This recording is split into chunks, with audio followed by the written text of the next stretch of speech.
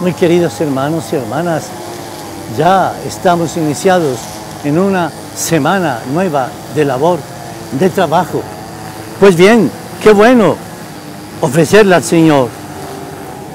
Dice el Salmo 112, alaben, siervos del Señor, alaben el nombre del Señor. Bendito sea el nombre del Señor, ahora y por siempre. Sí, alabemos al Señor. Sepamos que tenemos quien nos ama, quien nos cuida, quien nos guía, quien nos da un proyecto maravilloso de vida, que es el Señor. Y por eso lo alabamos y le bendecimos y gozosos recibimos su palabra del Evangelio de San Lucas, capítulo 11, de los versículos 29 a 32. En aquel tiempo, la gente se apiñaba alrededor de Jesús y él se puso a decirles, esta generación es una generación perversa, pide un signo, pero no se le dará más signo que el signo de Jonás.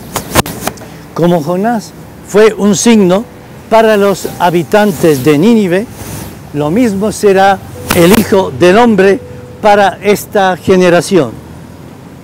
Cuando sean juzgados los hombres de esta generación, la reina del sur se levantará y hará que los condenen, porque ella vino desde los confines de la tierra para escuchar la sabiduría de Salomón.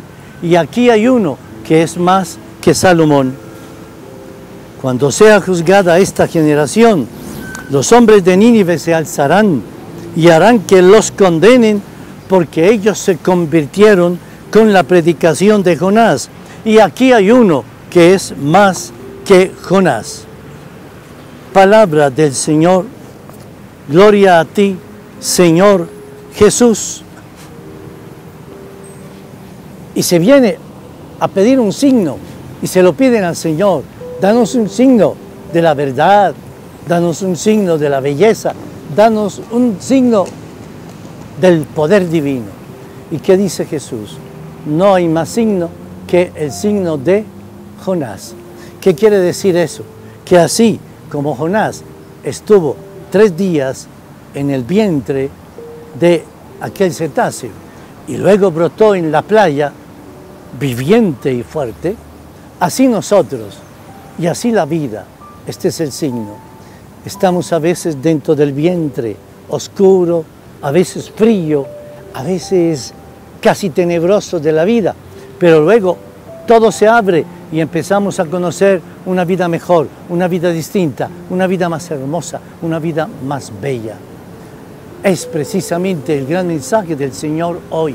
Existe la Pascua porque así como él estuvo tres días con sus noches, como Jonás, él brotó en la resurrección como Señor y dador de vida. Pues ese es el gran signo. El gran signo de la vida se llama Jesucristo y se llama la vida y la existencia que constantemente está brotando, que constantemente está dando novedad, que constantemente nos está brindando la belleza de la vida. Basta respirar, mira, tú respiras y estás recibiendo aire nuevo, vida nueva, y exhalas y estás precisamente sacando lo que dentro de ti ya ha cumplido una misión. Es el tren de la vida, es el proceso de la vida, lo que se llama proceso de Pascua, muerte y resurrección, enfermedad sanación, tristeza, alegría, estar en pecado y estar en gracia y estar en la paz de Dios. Que la Pascua del Señor te acompañe siempre. Nunca olvides, el gran signo de Jesús es el signo de Jonás. Aunque estés en el vientre de la oscuridad, de la perdición, del vicio, de la dificultad, puedes salir adelante cada día mejor.